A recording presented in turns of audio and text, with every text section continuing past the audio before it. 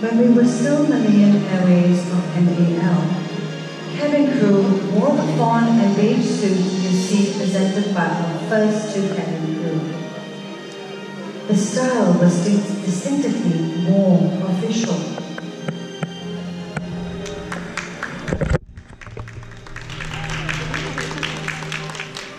In 1963 to 1968, the traditional sarong was introduced for female cabin crew, while male cabin crew wore jackets with Kelantan-made kind sockets held. These were worn on Malaysian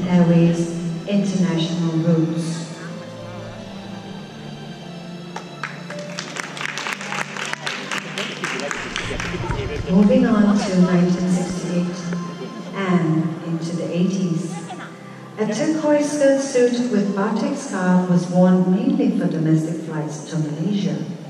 And the blue kebaya made its appearance for international flights.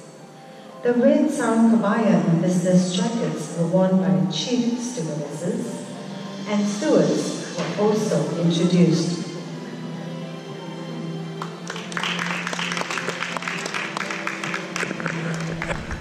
And finally, into the present.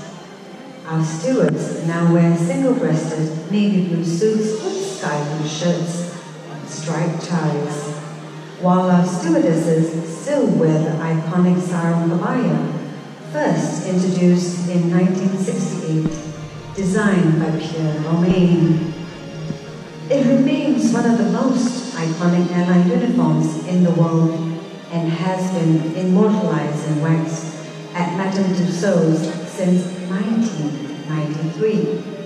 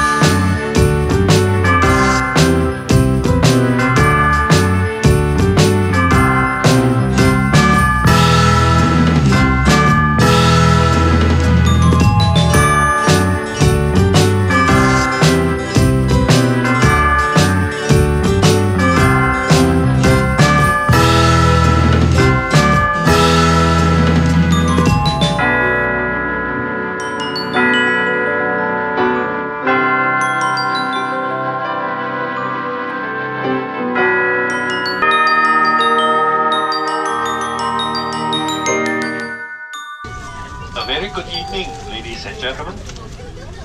I'm Captain Quack, your captain for this flight, and with me in the flight deck, I have uh, Captain Paul Au and Captain Wayne Cheong, as well as Captain Neeraj Patel, and also Captain Sel. On behalf of Singapore Airlines, I would like to warmly welcome all of you on board our newly retrofitted Airbus A380.